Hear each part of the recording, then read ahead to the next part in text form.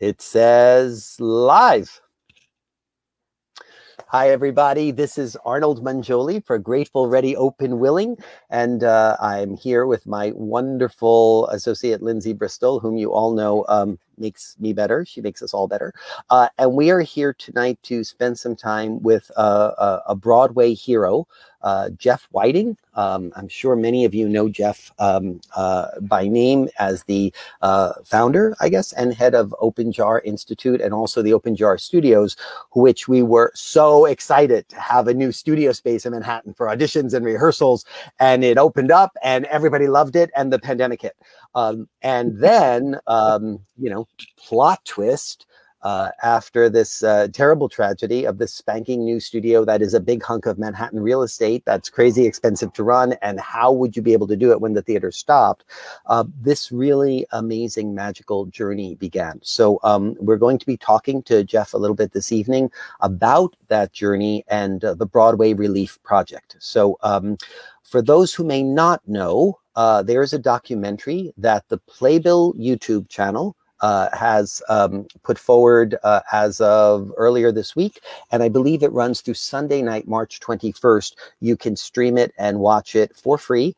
Uh, it is very brief. It's only about 20 minutes long, but um, I've watched it three times because it is uh, just that inspiring. And it is the story of the Broadway Relief Project and how uh, Jeff led a uh, group of theater people, uh, actors, performers, ward wardrobe people, costume people, stage managers, producers uh, uh, to um, come in and uh, make PPE that was missing. Uh, and uh, basically save the day in a very big way.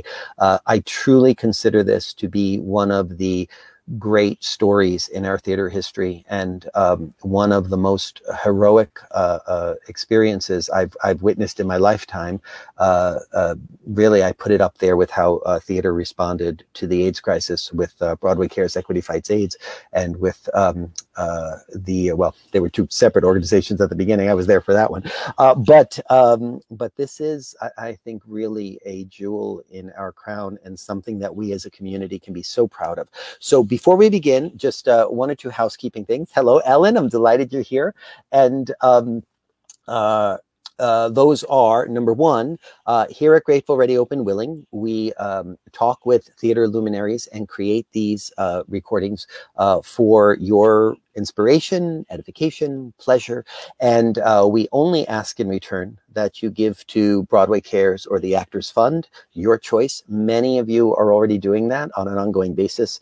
Um, it's so important that we as a community support one another. So uh, all of our guests have donated their time uh, and uh, we only ask that you pay it forward. We understand that uh, people are facing some hard times in our community and sometimes you don't really have a lot of money to give, but sometimes you can give $5. And sometimes you hit a week where you got a $1,400 relief check and you could give a little more. So uh, whatever that is will be most appreciated for all of our efforts, uh, whether you're watching this live or whether you're watching it in replay. Uh, so thank you for uh, whatever you can do to support one another. And if it isn't in a contribution, perhaps it's in an act of kindness or the way we reach out to help one another uh, through this.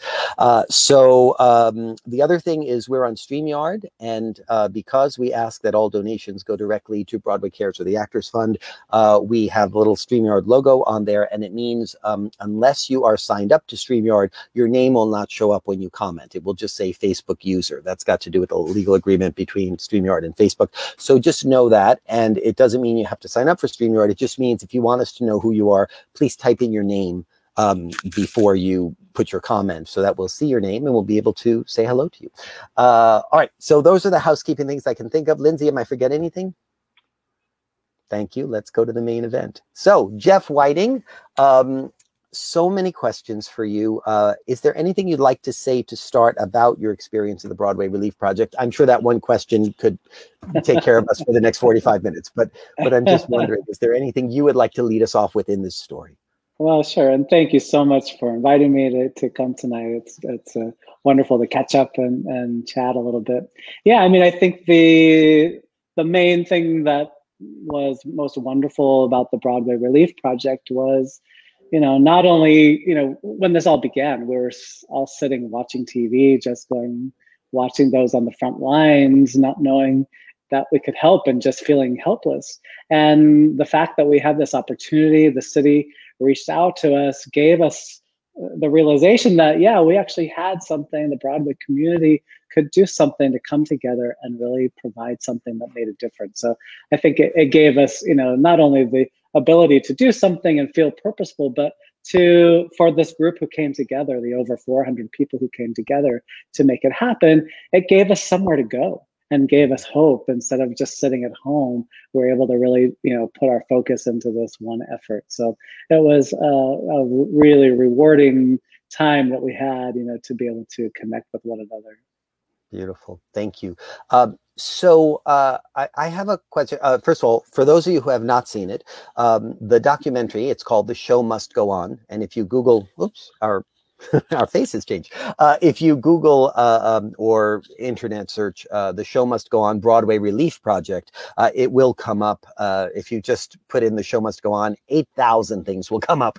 uh, because that's a very popular title. So um, if you look up Broadway Relief Project, the show must go on. Um, as I said, it's streaming on the Playbill YouTube channel through Sunday night, March 21st. Jeff, what happens to it after that? Like I teach a preparing for the profession class at NYU, which I've mm. done for 20 years. I would like to show this to my students toward the end of the semester as a go out and do wonderful things like this. Will we be able to find it again? Do you know? Well, you may you may have to go out to the film festival. So I think I think what's going to happen is it's going to make the film festival circuit, and then once it's completed, you know that journey, then I think we'll be it'll be you know more widely available again. So it's this is really a, a one during this week a, a chance to catch it before it goes on its tour. Got it. Thank you. So yeah. so eventually we'll find it again online. Yeah, yes. certainly. Yeah, certainly. Yeah. Thank you. Yeah, I don't want it to be lost. It's too uh, it's too important, uh, and it's uh, as a community, you know, it's a part of our story together. Mm. Um, so uh, my understanding is that uh, Open Jar Studios closed like everything did all at once. Mm-hmm. And then all of a sudden, you spoke to somebody you know in the governor's office, and there was a shortage of PPE. And that was the really terrible thing: is doctors and nurses and frontline workers were working without masks, without gowns, without protective equipment uh, for taking care of patients. Uh, patients were in mm-hmm. hospitals during a COVID epidemic with no personal protective equipment. And of course, it's supposed mm-hmm. to be mm-hmm. worn once and thrown away for sanitary reasons. And we didn't have enough. And what was being manufactured was being manufactured because all of that comes from one place on the planet, Wuhan, China. And they uh, both needed it and were operating under a quarantine where workers couldn't get out to make it. So suddenly we were dependent on a, a singular resource that dried up and disappeared. Um, hmm. so how did that happen? Did you call this person or did this person call you? What was the yeah, yeah they called me actually. I was I was in the process of walking around the studios, turning out the lights, turning off the air conditioning, just not knowing when, if ever, I would come back. And so I was actually quite emotional walking around. And as I was in Studio 11M here in the studios, I got a call from uh, my friend Neil, uh, who works at, who works in government, and he said, you know, we're I'm I'm working on putting together a call for the governor's office. We keep hearing that Broadway wants to help, and nobody's really organized anything. And if I know anybody who's good at organizing, it's Jeff. And so he said, I just thought I would call to see, would you be willing to just try to put together like all the key players on Broadway and just let's get on a call with the governor's office and just see how could Broadway, what could Broadway individuals do? What could the Broadway community do? So it started really just by me putting out an email to everybody I could think of that was, you know, producers and key players in the industry, just saying, let's get together and figure out how we can help. And that really began a tornado of emails and phone calls. And I ended up in that tornado on a phone call with uh, the Economic Development Corporation, uh, who had been charged uh, by the city of New York. They needed 10 million gowns.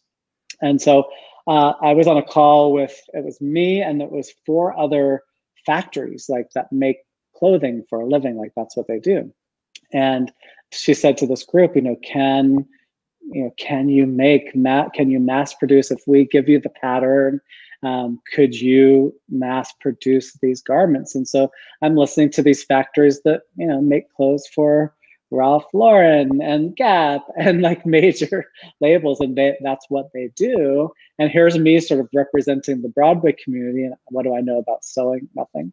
Um, but I, I, as I was listening to them talk, I said, well, we have those people. I've already been in contact with over at that point over 700 stitchers have said I can stitch. I'd be willing to help. So I said, well, we've got, I have up to 700 people who are willing to do it. You know, I've got a giant space. I could transform it into a PPE factory. Why not? It was sort of like Mickey and Judy. Well, I got a barn. Let's put on a show. And so I, um, I actually, what's very strange is as a kid, my father owned a factory. He made a he had a factory that made gym bags and backpacks. And so every summer as I was growing up, I would work at the factory. And so I found myself flashing back to what did they do at dad's factory? so so in a way I kind of knew what it looked like. And so I pitched on this call just saying, yeah, the Broadway community, we can put together a coalition of of all these stitchers and sewers who have the skills and I'll figure out how to get fabric and figure out how to get cut. And, you know, I said, sure, we'll do it. And so I basically like at the end of that phone call was like, I think I'm now going to have to mass produce hospital gowns. And so that's how it happened. I just said, yeah, we'll figure it out. And so I, I began a quest to find fabric. They sent me the pattern, but then, you know, the pat, the, we had to make a prototype, which had to get approved. I had to figure out, you know, what was the cost of making each gown because the city essentially bought the gowns from us. So we, I had to come up with a price, and I, you know, I, so I sent in the bid of the price, and um, you know, thank heavens they accepted our bid, and so we went to town. But that's kind of how it got started. You know, I just want to say, anybody who still has the question, why is this group uh, of the theater community and the show business community called Grateful, Ready, Open, Willing? Um, I, I heard there gratitude, readiness, openness, and willingness in all mm-hmm. capitals.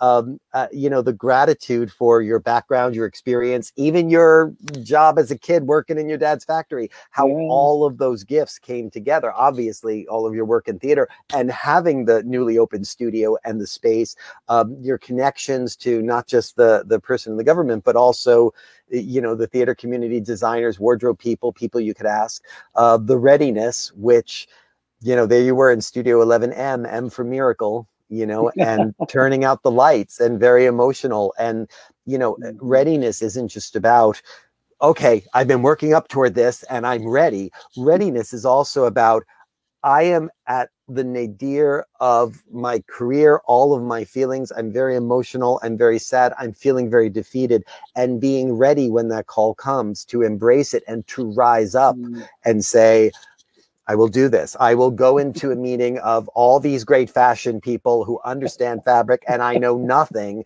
and I am ready. I am open to learning. I'm open to listening. I'm open to inspiration that comes. Um, my partner eh, has this wonderful saying, uh, we, we ask God in words, God answers us in synchronicity.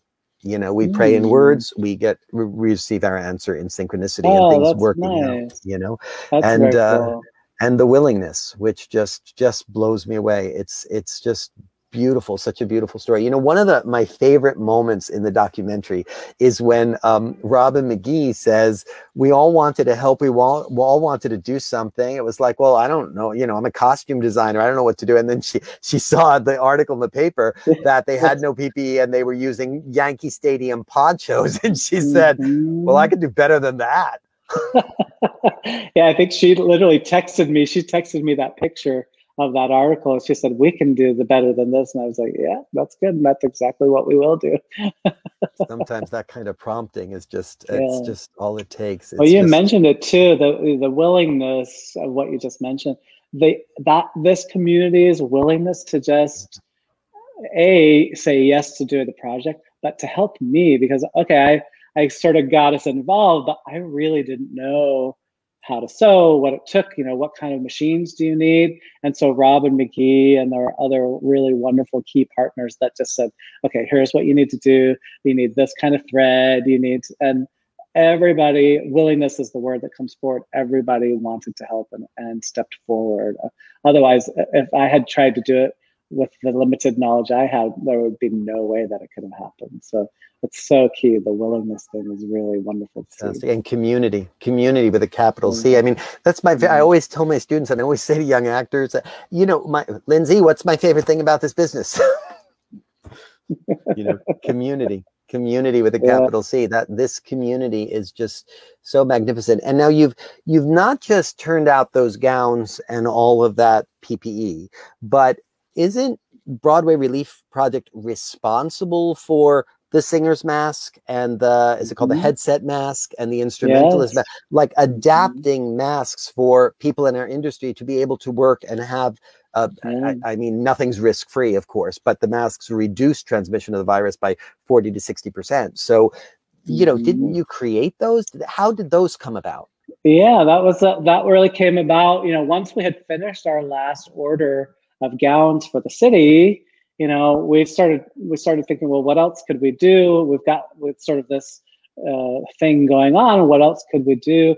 By that time, gowns had kind of you know those who are making gowns the real gowns were caught up and so there wasn't me but i said well what about masks like at that time we had been wearing masks for you know five months and i just said what if there was a mask that like could hold the fabric away from your mouth so that when you're singing you don't breathe in a, a, a mouthful of fabric and so i called robin mcgee and i said could we come up with a way to to do that and just put some interior structure. So she and I like kind of sketched some possible ideas and and so she on her home machine sewed up three or four different prototypes and brought them over here to the studio and I tried them on and went, oh, I like that. This is cool. And we ended up doing, uh, yeah, what we call the singer's mask. I've got mine right here. So Great. it's basically like it, it's the it's it's got an interior structure, so it keeps the fabric away from your mouth, but it also has a wire all across the where the nose and the cheek are, so you can actually form it to fit on your face. So you can actually control, you know, that the the air not escaping up through this up through your nose or getting in your glasses and whatnot. And so, yeah, so what uh, we we put the prototype together, I think, early July, and since that time, we uh, we've been making them as fast as we can. So we've got a team working around the clock that are really making these happen. So yeah, I think to date we've we've get we've made over two hundred thousand of these things. So the, the, the last statistic I read was over two hundred and fifty thousand. But oh, yeah, is that right? Oh, that's what I read online. Yeah, yeah. It's and you know the thing that that is so amazing because again I'm I'm a spectator in all of this. You know, um, I, and I observed um two things. One is there was a whole thing about the uh, that came out in the media about six feet apart was very much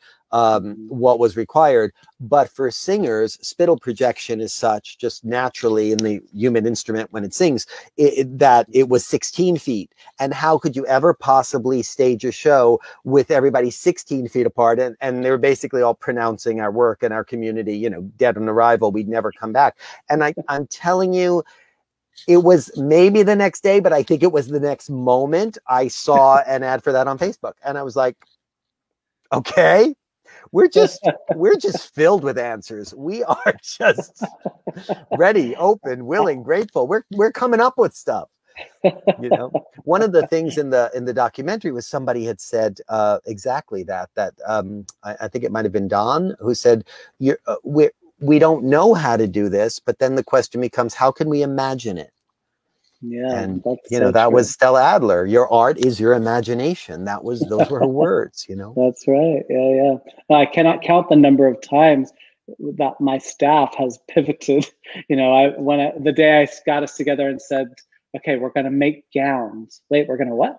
We're going to make hospital gowns. Just go with me on this. So it's like, okay, so you're going to be in charge of figuring out how to do the delivery. You're going to figure out the pattern. And we're none of us do any of those things. And so Don, who you saw in the documentary, he he and I just laughed because I was like, okay, we got to cut uh, Ridgeline. We need th- 330,000 pieces of Ridgeline. Okay, how do you do it? How can we do that quickly? And he's, I call him MacGyver. He's like the MacGyver of Broadway. And he would like, oh, if we had a drill, we could just like, instead of wrapping it, I could put a drill bit and like spin it 200 times and then just cut everything once and now you have the perfect size thing but you didn't have to like cut each piece individually. So he hmm. single-handedly solved so many problems that we just hmm. we were faced with. So he and i would just sit together and go okay well how can we figure this out? What do we know about it? Well we know it's this long how can we get that done 250,000 times as fast as possible?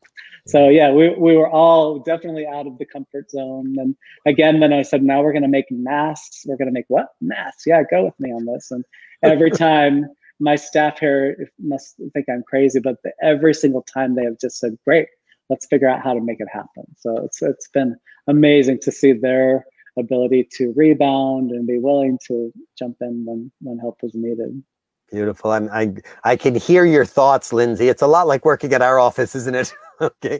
Guess what we're doing next? We have this new project. Okay, let's let's do that then. Because you know, in casting, it's like one day it's we want a traditional musical and we're casting these roles and the next day is we have a new musical and this person has to sing bass and ride aerial silks and it's like okay we have to identify a community of people who are aerial silk experts i mean it's just whatever comes in that's what we're doing and we always figure it out because that's what we do um, mm-hmm. uh, that's a great question. Damon is asking out of curiosity, was there demand for the gowns outside of New York or was the work ultimately New York only?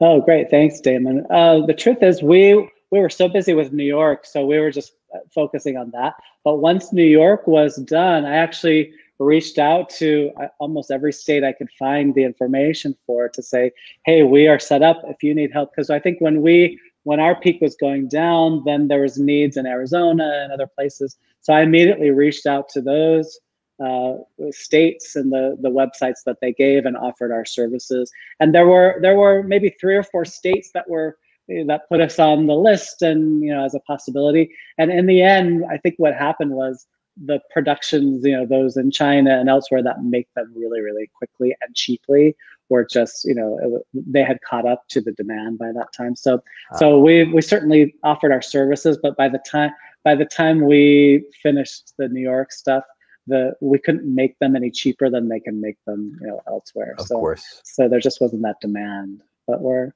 we were available. That makes sense. Well you were there when most needed. That's the extraordinary yeah you know i mean yeah uh, that's uh, that was the time of most need for sure. We are happy to be like there at that, that time yeah, that moment in the Bible where the, the, I think it's Mordecai says to Esther, "Perhaps you were born for just such a time as this," and oh. and that rising to the occasion. Um, you know, it it brings up a question for me, and um, I, I, somehow it's I, I, I have this terrible um, uh, knack for bringing up politics in uh, theater situations. But you know, I, I, was raised by people like Harold Clurman and Stella Adler, who taught me art is politics. It is. Um, you know, I, I, always teach my NYU students that uh, early on, you know, uh, um, uh, Russian drama got all the way to Chekhov, arguably the greatest dramatist in all of, of modern drama, possibly all of history. And Stalin brought in censorship from the political angle, and that stopped Russian drama and and the development of it and and, um, and so I don't think they're able to be separated. But I'm I'm really curious for you. Um, you know, we had an administration that wasn't dealing with this, which was a, a big problem. And uh, uh, Mike Pence and Jared Kushner were put in charge of these things. So, dealing with all that you were dealing with and the project before you and trying to create it out of thin air to answer this need to help hospital workers and, and people who were dying in this situation, when when Jared Kushner changed the White House website to say that the stockpiles of equipment and what they that the U.S. Uh, federal government has that is for the people of this country, and he said something in a press conference, uh, you may remember about how that's not that's not yours, that's not for the states, that's ours, that's mm-hmm. the federal government. And then they went in and changed the website and the wording to say that the national stockpile of these things actually did belong to them, and it was not for the states the people live in the states. Uh, I, that blew my mind and made me completely crazy. And I'm just curious, did you were you even able to take that in or were you just too busy at that point like what was that uh, like? we were I, I, I do remember that I, I, remember seeing that on the news and you know the truth is we were so busy we were just like heads down doing what we were doing but i certainly do remember having a strange reaction to you know here at a time when look, all of us are in the same boat. How, how often is that true? Not always. And so, in a time when absolutely every person on this planet is faced with this, to make that the time to claim what is yours, I think uh, nearly everybody else on the planet was offering to help. And so that it did seem very strange that anybody would take an action like that. Yeah. Yeah, I mean, I know in the AIDS crisis, when the theater community's response was so dramatic and so great and helping when no one else would help, um, mm-hmm. you know, it was very connected to politics. We had a president mm-hmm. at the time who would not utter the acronym AIDS in the eight years of his presidency. And uh, we in the theater community, we were losing people left and right, and, and we were dealing with it. And we rose to the occasion and said, we are, we are going to solve this because no one else will. Uh, so I, I get it. I feel that. Um, the other thing when you were answering Damon's question uh, uh, was um, uh, the in the documentary um, Windsor Cleaners, uh, the Tony Award winner, the Tony Award winning Windsor Cleaners, um, they were uh, you know gave you their vans and you collaborated with that and and rather than, um, I mean, I know there were some pallets with the big canvas baskets and everything in there, but uh, the footage of delivering back and forth the um, uh, materials to be stitched to all the stitchers working from home and such, and then the van collecting it, we see a lot of people just taking bags by hand and putting them in the mm. van, and sometimes taking lots of bags and assembly line, throwing mm. them up mm. in the van. Um, it feels very individual and personal and people run and not very manufacturing. Can you talk to that at all? What that experience was like? Yeah, I mean, I have to say it's it's um, uh, the idea that so many individuals were willing to help, and you know, all of them said, "I want to help, but I can't really get to you." And so uh, my staff devised a way, and Windsor Cleaner made it happen. They said, "Look, let us deliver." And so my my staff uh, put together a, basically a bus route, two bus routes. And so every day, every twice a week, what would happen is these two vans would get filled up with individual packs, and these stitchers would say, "I can probably do two this week, or I could do one." Or I, some of them uh, took up to seven per week, and they each bag was filled with materials for 30 gallons. And so they they just knew how many they could take, so they would let us know how many, and so we they would stop at the there are i think 18 different stops in all the boroughs. And so you would choose the stop that was closest to your home. You would take your you know rolling luggage or whatever and you would throw those bags into your luggage take it home. You would have then one week to sew them together. You would bring them back and then one week later you would swap it out for another unfinished one. So it was pretty cool. I actually get emotional thinking about it because it took so many people's effort to make it happen. And Windsor Cleaner stepped forward and made it happen. And all these, I think over 230 stitchers every day trudged. Some of them walked miles to get to that stop, you know. And it was a pretty amazing sacrifice that everybody made to to for that effort. So and, yeah, and in a pandemic, you know, it's not like in regular yeah. times they walked miles. It's like no yeah. one was going out, and we were told not to go out. And we were told it was unsafe to go out because so little was known about the virus. It lived on surfaces, it lived in the air. It's dangerous. Please stay home. And here they are mm-hmm. with their suitcase, bringing you know fabric. It was it was pretty amazing. Yeah. I love theater hmm. people. I just, you know, one of my one of my favorite phrases is theater people are wonderful. Uh, I just that's true. Yeah, um, and I guess this, in a way, you know, we spend so much time in the theater improvising. You know, somebody drops a line, you pick it up for them, and so in a way, I guess it shouldn't surprise us that the theater community did this because it was like, well, something's missing. Let I guess maybe we're wired to do that, but definitely this team definitely was wired to help out. Yeah, we are. I always I always say that, you know, if it were up to me, I would make every single person entering college do 2 years of theater training regardless of what their major is going to be. Just like in Israel everybody has to do 2 years in the army. I think if everybody did 2 years of theater training, our society would just function so much better you know? Uh, even the way people walk down the street you know there'd be spatial awareness everything would work better. Um, there's a bunch of questions coming in and i've just been so entranced with you. Um, uh, there we go. Thank you lindsay uh, will you be thinking of making show specific masks when we return Absolutely, yeah. That's a, that's something that we're working on now. So yes. I got an email from uh, Moulin Rouge. I'm one of the many mailing lists I'm on. That their Moulin Rouge mask is available. You can purchase it now, pre-order. Mm-hmm. Uh, yeah, so, so some of the shows. Yeah, seems like yeah, masks are going to be around for a while. So even after the shows are open, we can't wait for that day. That'll be amazing. Mm, for sure, it's going to feel good. Uh, Ellen wants to know: Are they available to individuals or groups, or like how would yeah. you get one? Yeah, you can go. You can go to our website. Uh, you can go to BroadwayReliefProject.com or thesingersmask.com, and you can buy buy a single one. There are group discounts. Uh, you can get it on Amazon. Uh, so yeah, you can buy it as a group. As a group, we've had you know many large groups getting them for choirs, the whole you know uh, school district, and then you know you can just buy one or two for your own personal use. So yeah, either way. Amazing. And is that also true of the instrumentalist mask and the headset mask uh-huh. as well? Yep. They're all That's at right. the same place. They're all on the same website. The uh, only the only the singer's mask is on Amazon. The others are not yet on Amazon.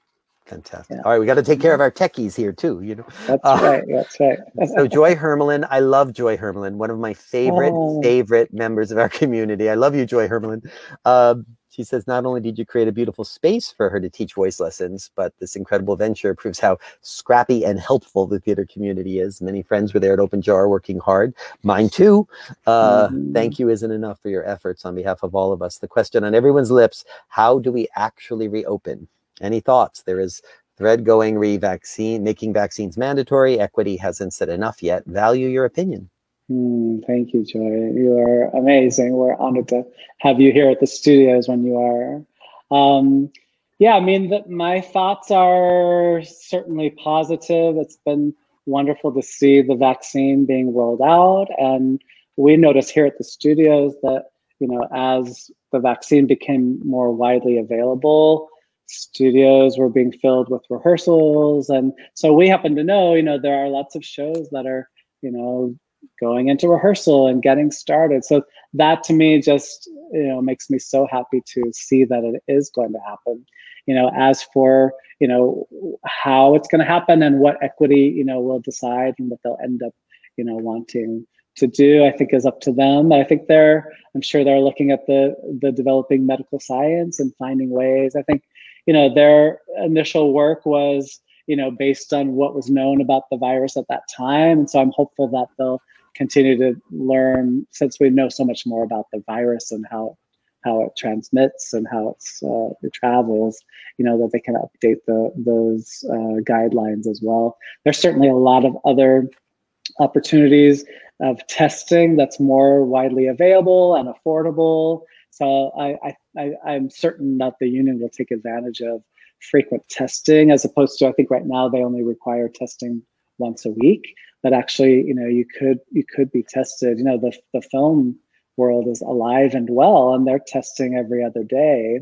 And i've been learning a lot about that recently you know that you can actually if you test every other day or every 48 hours you can catch things more quickly and then therefore allow people to be working together in, in, in a way and be able to you know catch something before somebody became infectious. You could get them you know isolated. So that gives me real hope and i'm certain that the unions are taking a close look at that and hopefully they'll update their their um, uh, protocols for that beautiful, thank you. And I'll just add to that, uh, uh, Joy and anyone else. Um, the uh, the last talk I did was uh, on the anniversary of the Broadway shutdown, so it was March mm. twelfth or thirteenth. I'm not sure how I tallied that, uh, but I talk a lot about that and about things reopening. And Lincoln Center is building ten outdoor stages uh, to use this summer.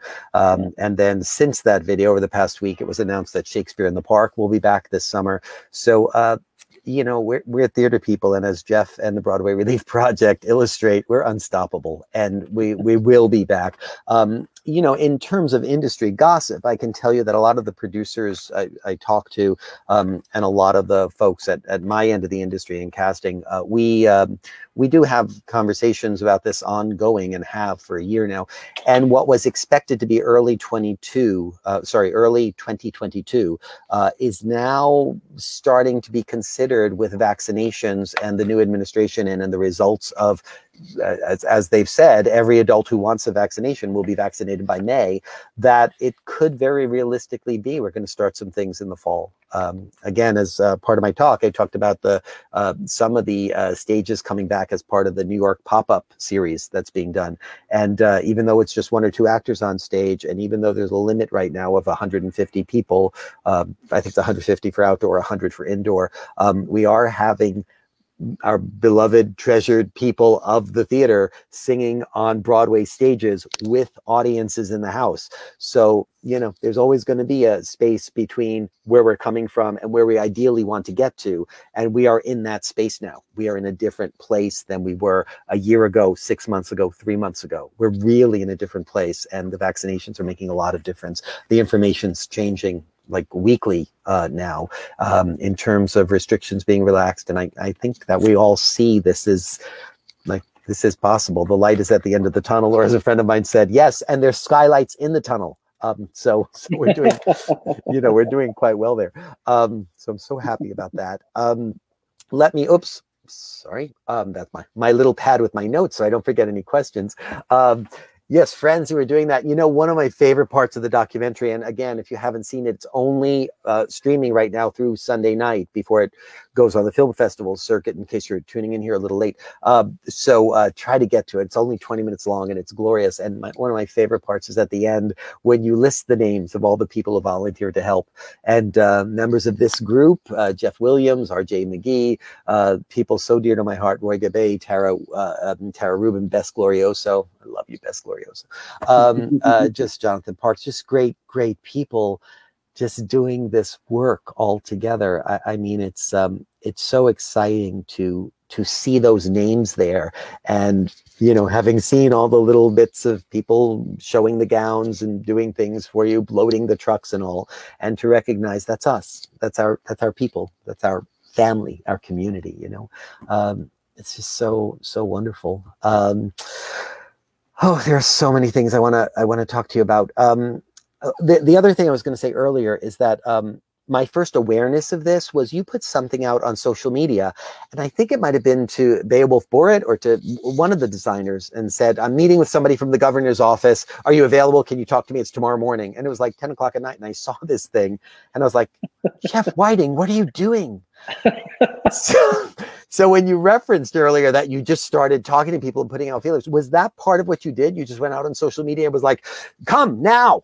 like what happened? Yeah, I I think what I did was I I put out. Uh, I think I put together a, like a Google form or something. I just sent it to everybody I knew, saying we're going to do a call, whatever day it was, and I just said sign up here and just let me know like in advance like what your expertise is, so then we could sort of coordinate you know who could be on which call and that kind of thing. And Yeah, Be- Beowulf is and a brilliant designer, of course, and oh he God, yes. he rose to the occasion, and he was here frequently, folding gowns, putting them in the boxes. So he was one of our regulars, you know, making it happen. It was amazing to see his support. Just amazing. Everything. Tara Rubin too. Tara was here, folding gowns, putting them in boxes, inspecting the gowns. So we it was pretty cool to see. Yeah. Yes, we do. yeah, and and and you know the thing that that struck me was everywhere I saw something on social media with you reaching out and making an ask, it was mm-hmm. like my social media streams, I just saw the word yes everywhere. It's like, yes, mm-hmm. yes, yes, I'll be there. Yes, I can. Yes, let's mm-hmm. talk. Yeah. I mean, you were just igniting this wildfire of the yes from a community who so wants to help and has so much to give. And you mm. asked and and there was just this symphony of yes. Did you feel that? I absolutely did feel that. It was so cool to just know that there were so many people who were willing to help. It was just then figuring out, you know, how could we most help. I, I think really that was signified, you know, uh, in those days at 7 p.m., everybody in the city who was locked in their rooms would applaud and cheer for the frontline workers. And, you know, that's just a small example of everybody in the city you know wanted to help. And even if you could just cheer people on as they changed their shift you know that's one thing that you could do. So i think everybody this year has been has really stepped forward and just done whatever they possibly could to help. Yeah i'm so convinced that's what that's what brought us here to this community so many mm-hmm. of us. You know I, I, I recognize that for some people it's the oh i want to be a star or something. But I think for so many of us, it's that community that um, it's just invaluable. There's just nothing like it. Um, and and also the way you know in community, people who have no idea what they're doing and figure it out help other people who are trying to figure it out. And I, was it Robin McGee in your uh, in, in your uh, um, documentary who talked about I took pictures to make an instruction sheet because we couldn't be all together in a costume house where people could ask questions. So I needed to make it as thorough as possible so people wouldn't have any questions. Was that? That was fascinating to me because, as I said earlier, I know nothing about sewing. So I was just like, well, how hard could it be? You just sew it together, you put the sleeve. But like, how wrong was I? like, you know, as I learned, like, oh, there's different machines and it needs different numbers of thread. And to do the cuff, you need to have this. And part of the cuff was stretchy. And so you needed a different needle. And, and so she volunteered. So she's filmed herself basically sewing each portion so that when they came back and when people opened them, they all looked the same. Now, I will admit they were crazy colors because we just, once we found the fabric that there was a, a certain consistency that the fabric needed, but they didn't have a color requirement. So once I found that fabric, I bought it in every crazy color. And so out there somewhere are these crazy, sometimes one arm is one color, the other arm is another color but we just wanted to make every possible bit of fabric into a gown. And so, so there are some beautiful gowns out there created by the best stitchers on Broadway that were, you know, worn in a hospital and, you know, but, but made with such love. And yeah, Robin uh, made a wonderful series of videos and we put them in a, a private Facebook group where the stitchers could ask each other questions about what do you do when you get to the hem and this happens? And and they were just all helping one another. It was so cool to to see them. And then another person said oh i found a way to do the the belts faster. And she would videotape herself doing that. So everybody was just really helping each other. It was so cool to watch it's amazing i, I just you're, you're talking and i'm thinking of schindler's list when when you know he wanted to save people and he mm. he was um, you know just donating everything he could find and saying yeah i need more workers for this and i need more of this and and then when it was all over he was like looking at the ring on his finger and saying i could i could have used this i could have saved another life with this mm, like every yeah. scrap and when you were talking about getting every scrap of fabric and no matter what the color scheme was putting it together to save lives it it just yeah. reminds me of that kind of um that kind of stakes you know um it's just yeah. so beautiful. It's just such an amazing, heroic thing that you created uh, for all of us, and I just. Um, mm. Just so floored by it. It's it's just magnificent. You you had uh, mm-hmm. one shot in the documentary showed the the dry erase board on which you or someone wrote, "Entering this room, you become a hero." It's true. Yeah, that is true. Yeah, everybody. It was so cool to see everyone come in each day because you know we were when you came in the city was shut down but we were operating as an essential business so we were walking into work with an empty city completely empty times square which was empty and to walk in and have a, a, a group of people who are working together for this one thing and so that that phrase was written and often changed by Michael Krug, who's an amazing stage manager. He's stage manager of, of uh, the national tour of Dear Evan Hansen. And he he was in charge of the shipping department and still is to this day. Um, and he he he came and knocked out the first day we had people here in the studio, you know, when we did, you know, the first round. Um, I was up here late at night in my office, just like trying to figure out what we were going to do the next day. And and I was in the darkness and uh, staring at my computer, and and all, in walks Michael Krug, and he goes, he knocked on my open door, and he goes, "Can I help you?" And I was like, "Oh no, no, we're fine. We we we'll figure it out." He goes, "No, let me help you," and he could just see that he knew there were things that we could be doing to better, and so he just said, "Let me. How about if I take this off your plate?" And I was like, really can you do that he's like yes i got it and so he said he's been here basically a year now he's in charge of he he runs the whole place now so uh, it, it, it's an amazing uh, revelation of of people's um, personality and their willingness to be of help i love us i just love us i yeah. uh, it's just such a joy to be a part of this community. I um so when you say he still is here now, um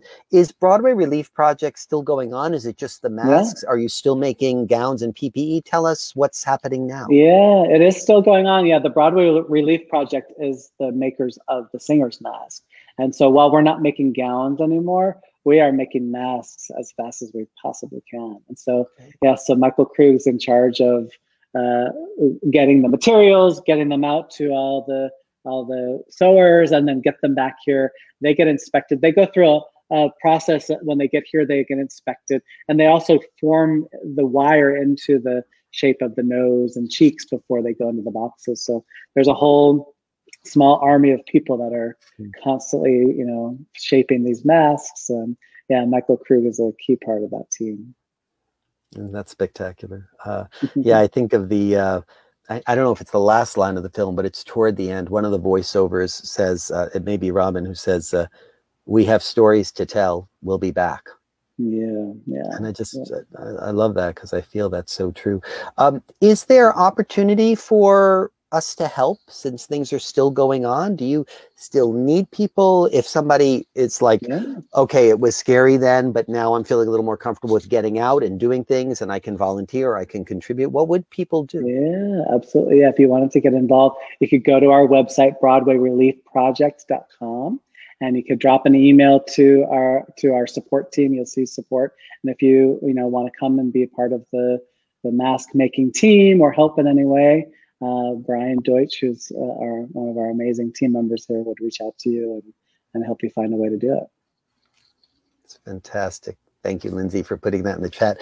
You know, um, there may be a, a, a, sequel to this too, even though it's still running. Uh, and I'll tell you how that happened. Um, uh, this past week on uh, NPR, uh, WNYC, Brian Lehrer's show in the morning, uh, there's an Ask the Mayor segment. And I called in uh, last Friday and they got Lindsay laughing because, yes, I did flirt with the mayor of New York City and I did flirt with Brian, Brian Lehrer on national radio. Don't care, no shame, theater person. Um, anyway, uh, in the midst of that, uh, what I called in to say to him was, uh, you know, uh, all of us who work in the theater, we are looking at what you are doing with the vaccine rollout, and while we very much appreciate it in the progress, there, there's a whole army of incredibly capable people who work in the Broadway community and can help. Uh, all of us on social media are always laughing with one another, saying, Get three equity stage managers in charge of that vaccine rollout, and it'll be done in three days. Because this is what we do. I mean, I, as a casting director, when you see a show and there's 22 people on stage, well, trust that I saw 25,000 people to get those 22 people on stage, and all of those people were funneled through times, getting the right material, making sure they showed up prepared, knew where to go, knew when to go. Uh, it only shows up as Facebook user, but that is awesome. Justin Trudeau would say, come back. Um, that I, was uh, Anthony, of course. Of course it was. Hello, Anthony. it's perfect.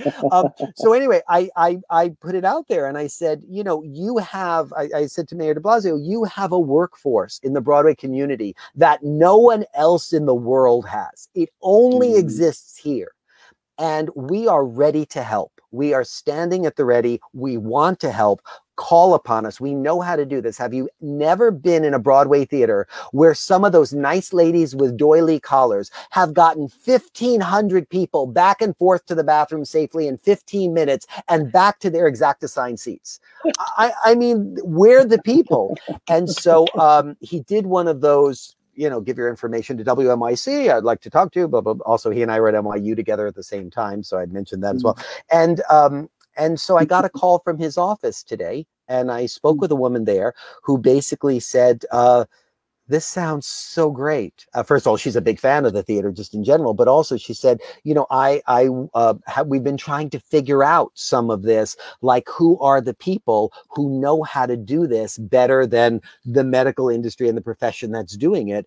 And you just hit on it. So we're going to have another conversation on Monday and begin to talk about who the people are in our industry who you know maybe i can connect her with and such and jeff your name will be at the top of my list uh, but also you know just the unions to talk to equity yeah. about the stage management teams and who's out of work and who would be able to help with this and what mm-hmm. we can do because we're um, we're theater people we're just amazing you know so yeah, yeah. so whatever happens with that and i hope something does um, uh, but whatever happens with that uh, I will always personally and uh, speaking on behalf of this entire community, we will all always be indebted for you uh, to you for leading the charge and for creating something here that is just notorious. And I'm so grateful that uh, Paul and Ethan created this documentary and came up with that idea because there, there ought to be a record uh, uh, of this for posterity.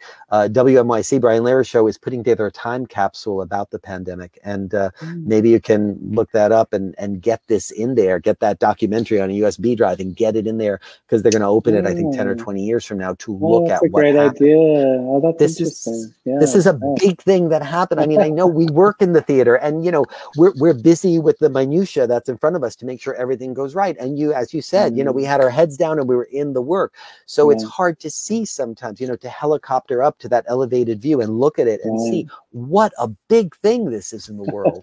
And just, yeah, and you I know, Paul, Paul, Paul was here doing it with us. He was working folding gowns with Beowulf Bor, and he had the foresight to go, you know what, we should capture this. So you know, we were, I was like, okay, sure, bring, bring cameras, whatever you want. And so uh, I didn't even really even think about it because we were just, you know, on a mission, but Paul had the foresight to, to go, this needs to, I guess a filmmaker would, they, he just knew that it needed to be captured. So I'm really thrilled. Uh, I thought, I thought they did a beautiful tribute to everybody that was involved. in fact, it, in some ways, when, that, when I got the sneak preview of it a couple weeks before everybody else saw it, I cried and cried and cried because there were people in in the video that I have never met to this day. There were I, I, never went on the road and saw the people that picked it up. I know their names. I know exactly how many bags they took each week, but I have never seen their face. And so I got so emotional watching, you know, there's a sequence where you see them taking off their mask. And so here's me, you know, seeing their name, knowing the knowing them, but not ever seeing them and to see them take off their mask. I was just a mess on the floor watching it. So I think it's a beautiful tribute to what everybody did. I mean, I'm honored to have been a part of it in any way. But the fact is, it would not have been anything unless everybody surrounded it with the support that we really, really needed. And they definitely did in a big way. And I think the film really captures that. Well, Jeff, thank you. Thank you for tonight. And thank you for all that you've done. And thank you for your gratitude, readiness, openness, and willingness to uh, really lead us in what we are capable of, you know, and and uh, bringing us forward in a way that is just beyond thrilling. Um, it's just it, it's just there are moments like this. We all are we all love being a part of this community even when it's like oh that actor got the role and i didn't get it and all those things that happen amongst ourselves you know like family. But then there are moments where our awareness of what a gift it is to be a part of this community is is suddenly in a moment so heightened. And we realize what we're capable of and what um you know we're creative people and i always go back to the course in miracles. There's a, a line in there that says something like um, uh, to to think like uh, to think like i'm going to mess it up here but something like to think like god is to um, understand love to create like him is to share the perfect love he he shares with you something like that and mm. um, and i just feel like as creative people we um, we are sometimes in moments of heightened community where we understand what we're all capable of together and what a beautiful thing that is to be a part of. So um, thank you for joining us tonight. Thank you for the work you've done. Thank you for the work you continue to do. Thank you for being truly a Broadway hero and a hero in every sense of the word.